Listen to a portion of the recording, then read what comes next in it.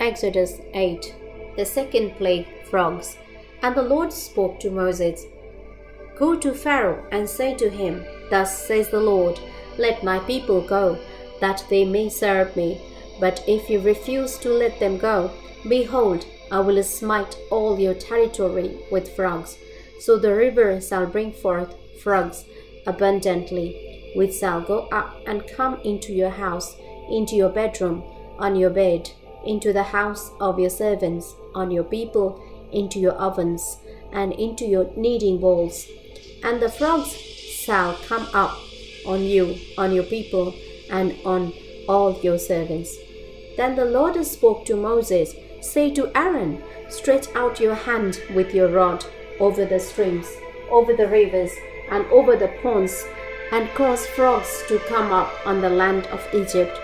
So Aaron stretched out his hand over the waters of Egypt, and the frogs came up and covered the land of Egypt.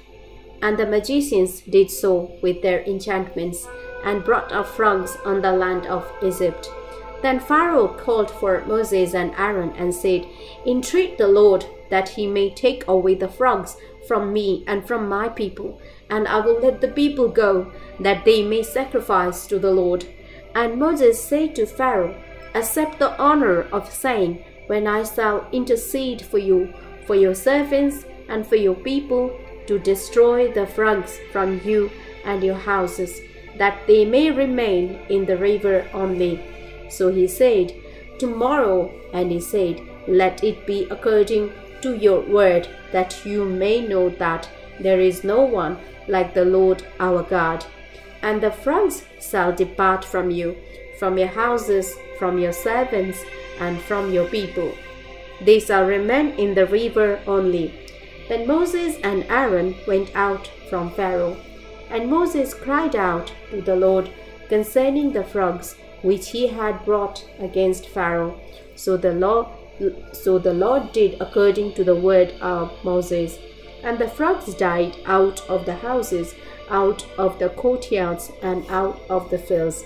They gathered them together in heaps, and the land stank. But when Pharaoh saw that there was relief, he hardened his heart and did not heed them as the Lord had said. The third plague, lice.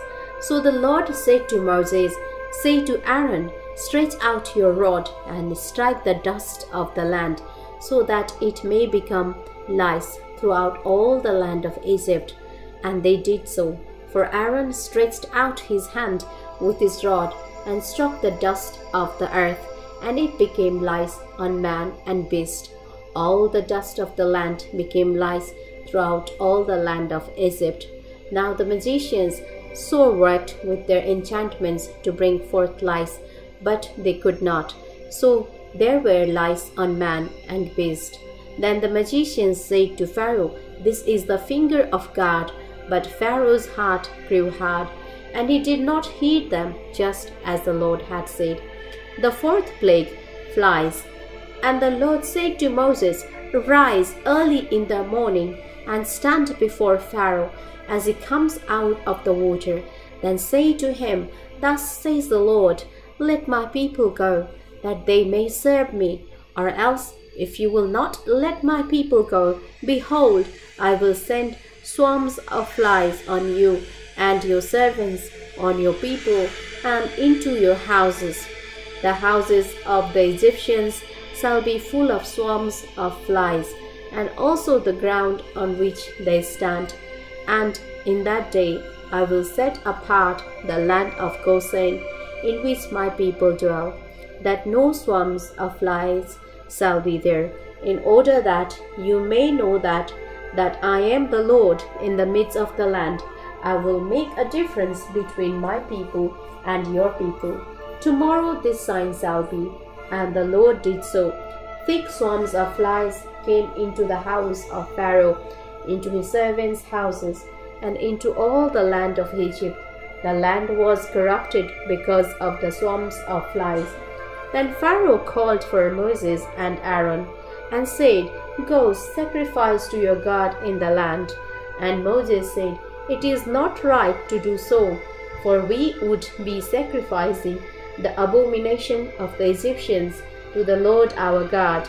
If we sacrifice the abomination of the Egyptians before their eyes, then will they not stone us? We will go three days' journey into the wilderness and sacrifice to the Lord our God as he will command us. So Pharaoh said, I will let you go, that you may sacrifice to the Lord your God in the wilderness. Only you shall not go very far away. Intercede for me. Then Moses said, Indeed, I am going out from you, and I will entreat the Lord that the swarms of flies may depart tomorrow from Pharaoh, from his servants, and from his people.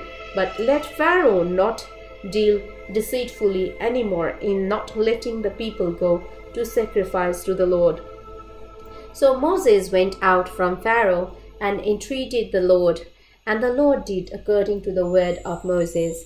He removed the swarms of flies from Pharaoh, from his servants, and from his people.